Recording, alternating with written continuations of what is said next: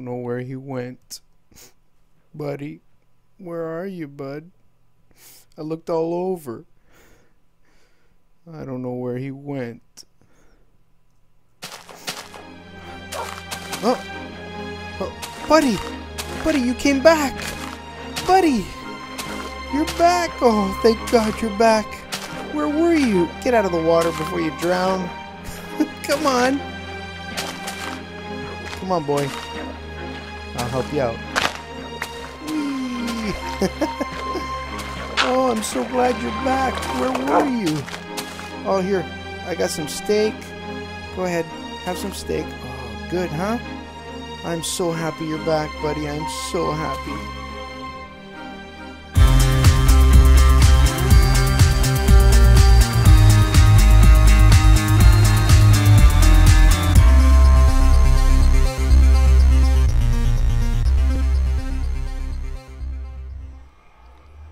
Welcome back, everyone. It's Kirrok here.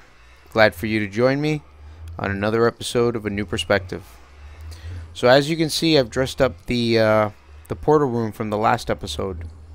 Uh, I threw in the lava pot lights as I mentioned I would. Uh, there was one person from uh, the comments that uh, uh, put forward a suggestion, and that was Ruarc88. what I'll do is I'll put a link in the description to his YouTube channel.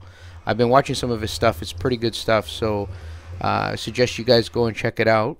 Um, but he suggested I place posts and wither skulls on those posts in here. And when 1.4 comes out, I am definitely going to do that. Um, the other thing he suggested was putting netherrack in behind these uh, pot lights. But right now, I think the netherrack looks great as it is with this little waterfall uh, lava. Oh, I gotta watch out I don't fall in. uh, yeah, so what I may do is once I find a fortress is replace the stone brick, the smooth stone brick, or sorry, the smooth stone uh, that you see on the ceiling and the walls with um, nether brick. Uh, I'm afraid it might make the room look black, but I'll try it out, or too dark, I mean, but I'll try it out anyways. So um, what I do want to show you guys is what I've been working on. Uh, not a whole lot. I've, I've completed some of the storage units in the warehouse or in the storage house and then also the storage units in the wood yard. Come on over. I'll show you guys what it looks like.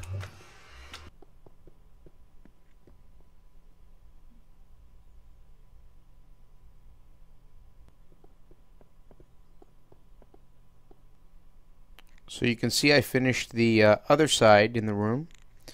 Uh, over here I have iron. Uh, then this one is going to be gold. I just don't have enough blocks to or gold to make blocks, so I threw one in here right now. And uh, this is glass. This one here is sand. Just like the other side where I have the gravel, I put uh, wood planks in the corners. When I go up to it, they pull back. When I come back out, they all come back and then this is sandstone brick. Yeah. So basically the center aisles are done. Um, as I collect more materials I'll start filling in the remaining spots where those materials go on the outside edge. And that way from a distance I can identify what's in each of the chests. Of course 1.4 is going to bring that new feature where they have um, what do they call picture frames where you throw in an item and you can identify what's in a chest by having that that item in the frame. That's pretty cool, man. They should have come out with that a long, long time ago. But regardless, I'm going to keep this the way it is. And if I ever make like a small um, uh, room where I have certain items in chests, then I'll use the new feature that they've added. So what we're going to work on this episode, excuse me, is we're going to make a wheat farm. The idea behind the wheat farm is that I can then uh, grow my creatures, such as cows, sheep. Um, once I got those guys going, pigs as well, I'll be able to collect what I need from them, uh, better food other than the bread that I've been eating, and more importantly, I want to get the the um, hide from the cows so that I can make proper bookshelves and make an enchanting room. Uh, one of the next steps is going to be building the, the, the machine that I've designed to harvest the animals. Uh, that'll probably be the next episode, and it's going to be a big endeavor. because uh, it's a big project, probably one of my biggest builds. But um, after that, I'll probably do a an episode where I build the enchantment room. Nothing special, something simple, uh, and then we will start enchanting some of our tools. So come on out uh, over to the area where I have all the stuff, and we will start building a wheat farm.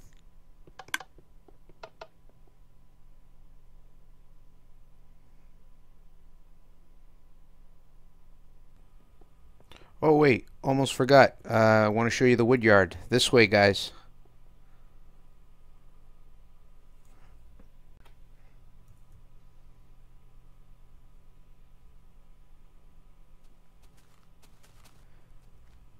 And here are the storage stations. Um, this one here and this one here are complete because I had birch wood and oak wood in abundance. When I need uh, wood, I move up to it chests are revealed. I grab my wood. Uh, the top shelf or the top uh, chest, I'm going to store uh, saplings as well as um, leaves if I harvest any leaves. And that'll go for any of the wood types, as you can see. Uh, this one here is going to be um, spruce wood, and this one at the end is going to be jungle wood. Uh, two trees that I haven't yet harvested and, and grown. So once I start grabbing or gathering those types of woods, I will fill these in uh, around the edges where they're missing. And that's basically it. Alright, now let's go and get that wheat farm put together. I'll see you guys there in a second.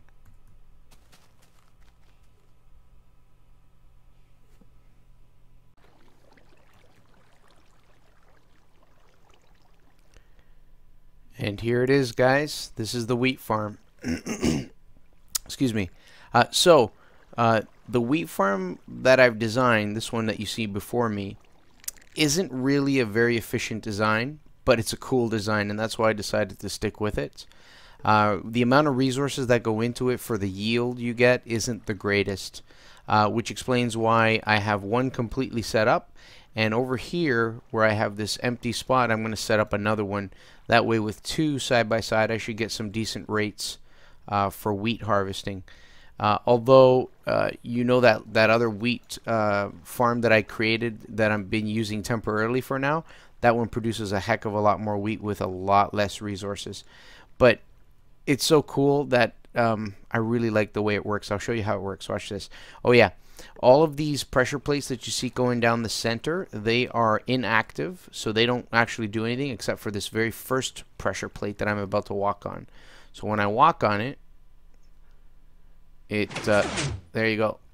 And the water comes and pushes all the wheat and seeds to the center.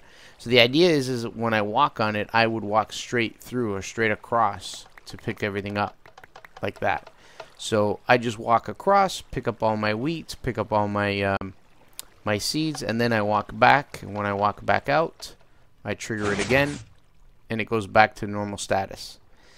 And at this point, it's pretty simple to just go across. Uh, the the nice thing is, is the tilled earth remains tilled, and all I have to do is grab the seeds, throw them back on, wait for for them to grow, and do another harvest.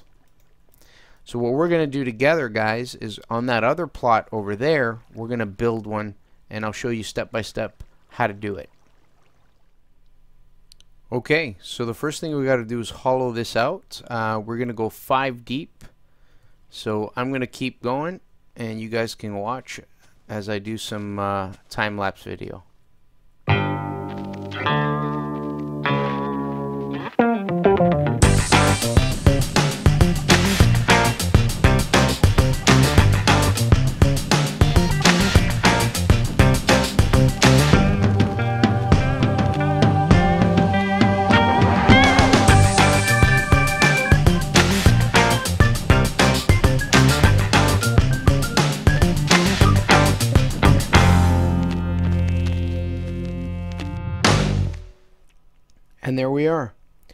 Now that we have a 5D pole, we can start filling it with the things that are necessary to make the wheat farm work. I'll bring you guys back when it's daytime and we will begin uh, placing in the redstone and the repeaters and the redstone torches. Alright, welcome back guys. So you can see over here I've placed ladders and over here I've placed another ladder uh, simply because once uh, I start filling this in with the appropriate components, I guess you could call them, uh, I won't be able to get from one side to the other and this will be the only way in and out from underneath. So what we're going to do is we're going to begin um, placing a line of smooth stone blocks for where the redstone is going to travel across from one end to the other. Uh, we're going to do that over here. And this uh, row of blocks is going to be where the there we go where the redstone is going to rest. So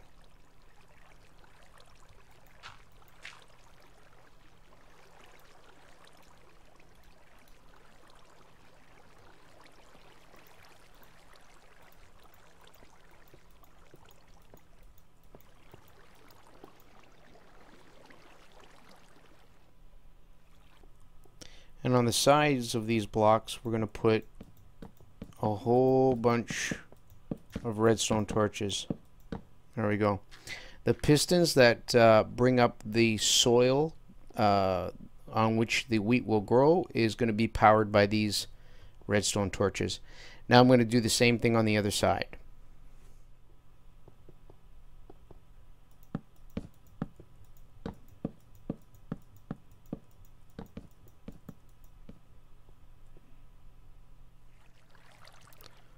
Okay, so what we're going to do now is we're going to throw on the pistons that uh, will will actually push the soil blocks up, uh, the soil blocks where the wheat grows.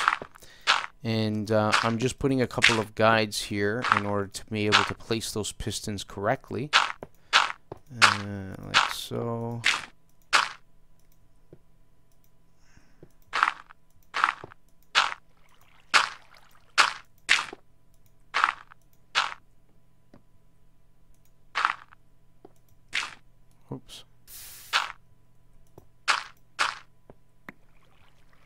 Oh. Oh, actually, I made a mistake. We don't need the uh, redstone torches on the ends. It's supposed to be a total of 12 pistons. Uh, 12, is it? 2, 4, 6, 8, 10, 12, 24 actually. 24 pistons. Uh, the ones on the ends were extras that I didn't require. So now I'm going to jump over and start placing my my actual pistons. There we go. That's what I want. Let's see if I can get on top. Now just keep placing them all, and once I've placed all the pistons in place, we will uh, continue with the wiring and placing other pistons for uh, holding back the water.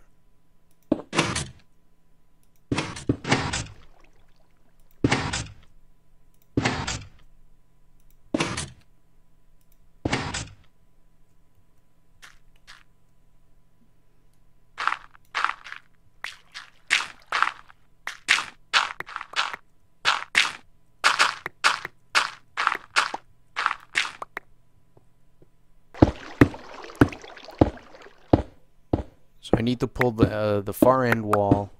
this is the end of the wheat farm. Uh, on the other side over there is where I'm going to have the active pressure plate. Uh, this one here I have to go over at least one more to fit the wiring in. Oh, look at that. I just encroached upon the, uh, the sugarcane farm. That's okay. Uh, for the wiring that I need to go here, it's not going to be that big a deal even if the two of them connect.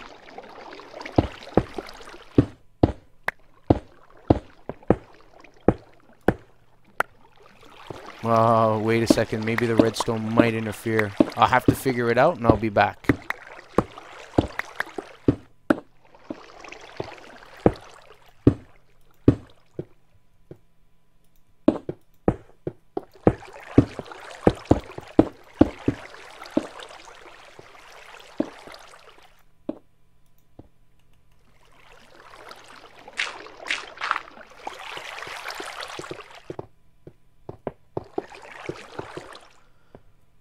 Okay, so what I'm going to do next is basically place a row of dirt.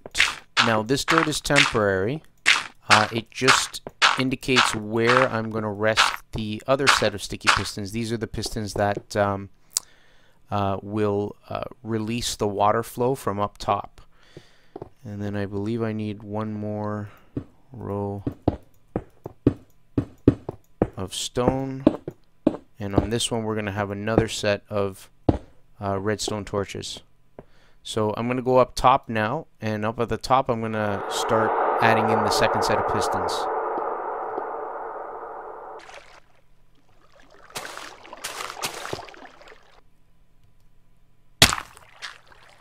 And of course, I'm placing the pistons in the same spot or in line with each of these other pistons.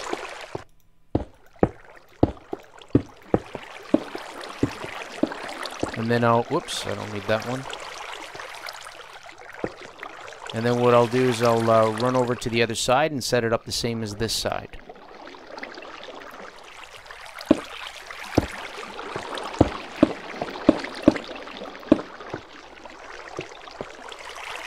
Now with both sides set up the same way, I'm going to run to the bottom and get rid of those two lines of dirt that I put in for positioning and start throwing in the remainder of the redstone torches.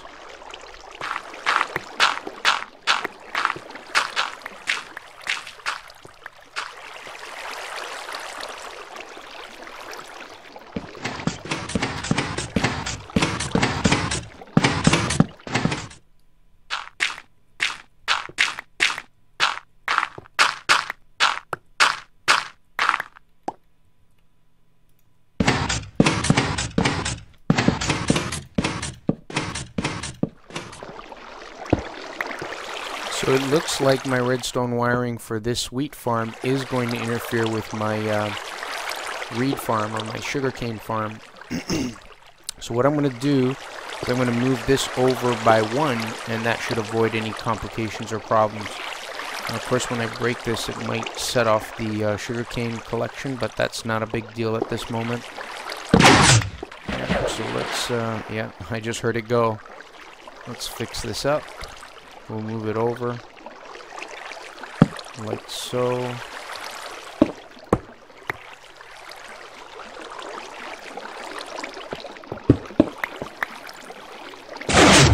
And there we go.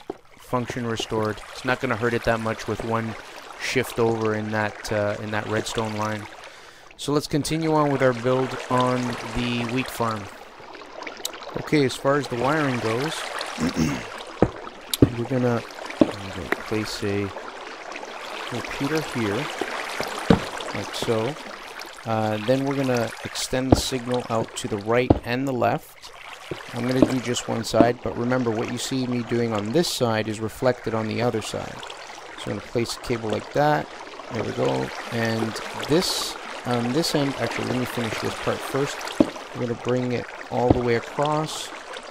Get rid of this block. Place another one right in here. There will be a repeater placed here, which is going to draw the power from the line that comes here and send it down this line of blocks. Uh, here, I'm going to place in an inverter. So it's basically a block with a torch on it, and then place redstone at the end. There we go. So you'll notice that uh, that one piston retracted. And once I place a line of redstone all the way down so, you will notice that they will all retract.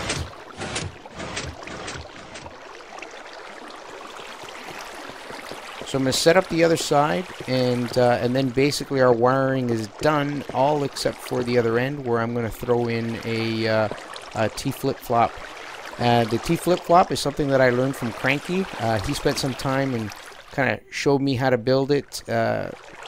I've always tried to understand how that works, but I could never really wrap my head around it. So thank you, Kranky, for taking the time and showing me. It, uh, it's awesome, and this will be my very first build that I'm using it in. So I will set up the other side and come back, and then we will set up that T flip-flop.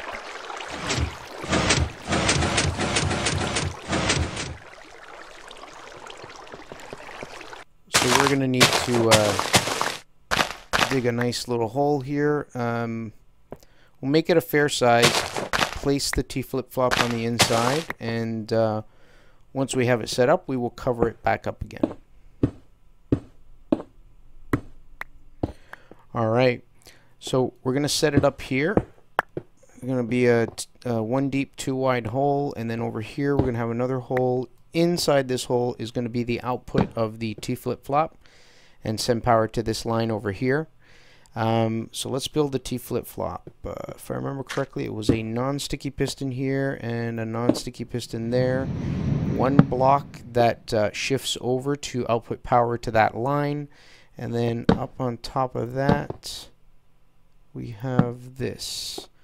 Uh, on top of this, we have redstone wire. And then on one end and the other end, there we go. We have uh, two redstone torches. So uh, if I remember correctly, this should work by placing power into this line on the end here. Uh, do I have a button? No. I will demonstrate with a button. Let me craft one real quick. Whoops, nope. That was a pressure plate. Alright, here's a button. Place it, and what we should see is the block shift. There we go, when I press that button. And it stays over and does not flip back. And then when I press the button a second time, the block shifts back. And that's what I want. So that way when I walk across at the top here, that pressure plate and go along the rest of the pressure plates. Uh, the soil is triggered, uh, the soil pistons are triggered to go up and unroot the wheat. And the water pistons are triggered to go down and allow the water to free flow towards the center. Um, now, the actual button that, or the actual pressure plate that's above here is going to be wired in specially over here to um, provide power to the line right over at the top here where I place the button. So I'm going to get rid of that button. We don't need it. There we go. All right, we're going to do the last of the wiring. Um, the way it's going to work is this block has to disappear. There we go. And um, we're going to place a redstone repeater there, which drives power into this block in front of me. On top of that, we're going to place a redstone dust, which connects to the line that heads down the uh, down the whole length of the the wheat farm. And then we're going to place redstone here and here. And as you can see, that triggered everything. Um, so at this point, we need to place in the triggering mechanism from up above which has the um, the pressure plate in place. So we're going to do this, this, this, like so. Oh, yeah. There. Okay, good.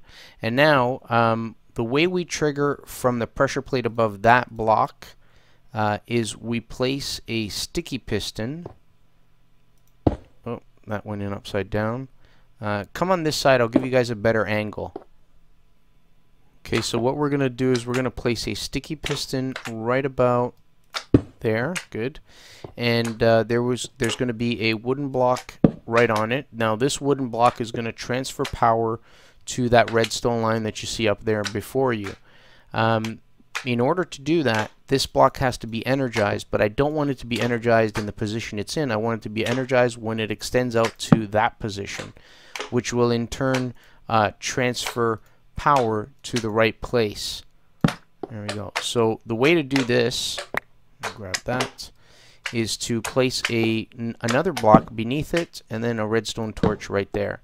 So this redstone torch that I've placed does not extend to give power to this redstone line that you see in front of you. Uh, but when I step on a pressure plate on that block up there, uh, this sticky piston will shoot out uh, and then this block will come into contact with that redstone line. And because it's powered by the redstone torch beneath it it will trigger the T flip-flop. So let's go upstairs place one of the uh, pressure plates and see how it works. Alright so I'm going to place it into position. And you'll notice if I come across that pressure plate if you look down there you're going to see that uh, that wooden block shoot across and because it gains power from the redstone torch it'll deliver power into the T flip-flop which in turn uh, will affect the pistons that are set up in our whole wheat farm so keep an eye down there and there we go So I actually stepped on it twice. I actually stayed on it a little bit long and then I went back onto it again and they did a whole cycle. If I do it once and come off, the pistons will stay in position. If I do it again, they will change position. So you guys were looking at the T flip-flop. I'm going to show you what it looks like on the piston side when uh, when I hit that that pressure plate.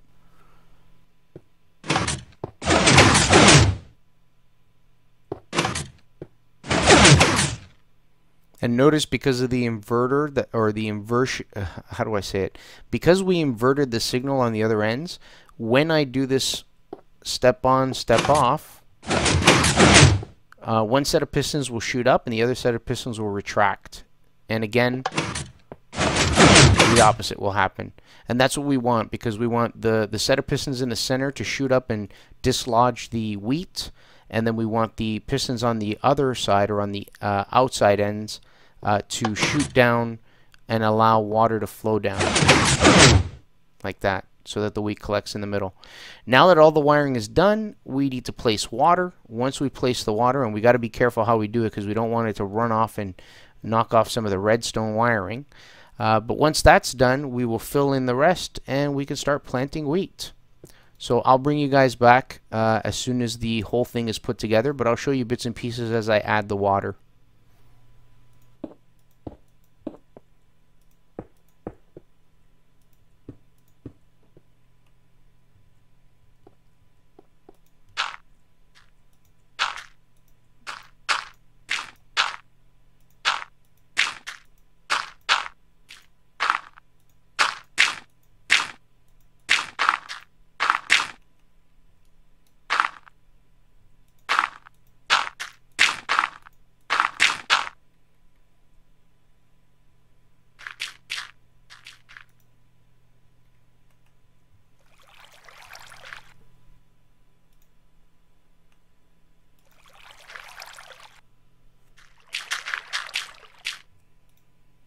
This is the water that's hidden which keeps the uh, the dirt hydrated so that the plants can grow properly. And one of the last things left to do is basically to light up the inside of the whole wheat farm. Um, it, it's large enough for creatures to spawn, uh, like any mobs would spawn or hostile mobs would spawn in here. Spiders, skeletons, creepers, and so on. So, I mean, you could fill it up with blocks, but in reality, a few placed torches will prevent any, any spawning from occurring.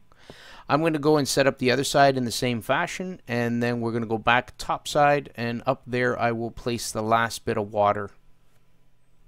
Okay, we're going to seal up the hole. Grass will grow on it later on. so this hides the T flip-flop, and I lit it up down there to make sure no mobs spawn. The next step is uh, putting in the proper trenches. Uh, well, one trench for the water. So we're going to do that by placing a uh, row of uh, stone blocks all the way across.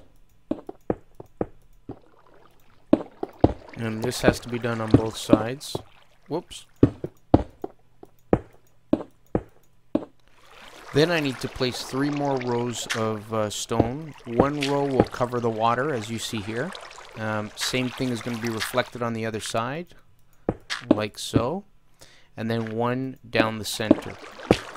This one is the one I'm going to put the pressure plates on that uh, keep the water from flowing over into the center area. Um, so I'm going to place those all the way down. Then the final step is, before adding the water, is putting half slabs all along these sticky pistons. So I'm going to do that. Once it's done, I will bring you guys back.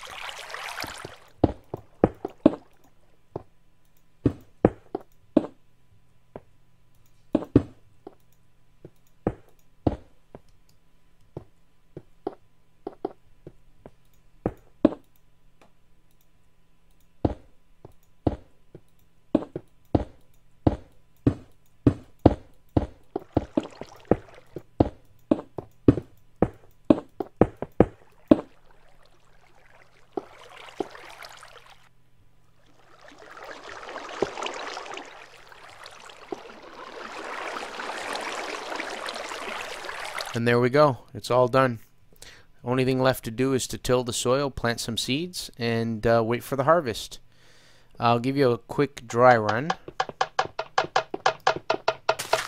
So if I hit the first pressure plate here, like that, yeah, you can see that the uh, the pistons that hold the half slabs up retract, allowing the water to flow through, and the pistons where the wheat would be growing pop up, and that would basically allow the wheat to collect in the center here.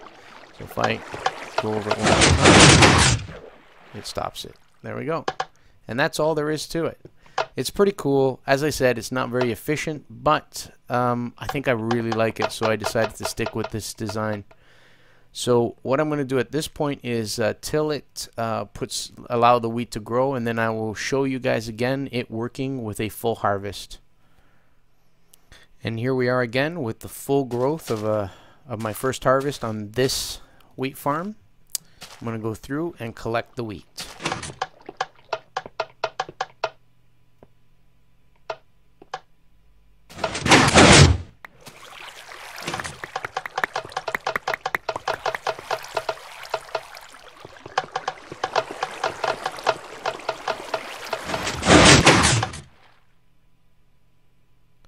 That's all there is to it.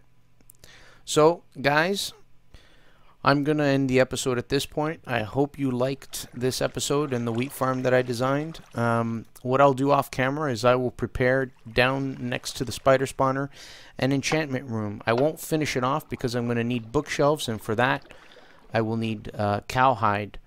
So in the next episode, I'll show you what I've got done so far for the enchantment room, and then we will build the animal processing center. Glad you guys could join me. Hope you liked the episode. I will see you next time. Bye bye.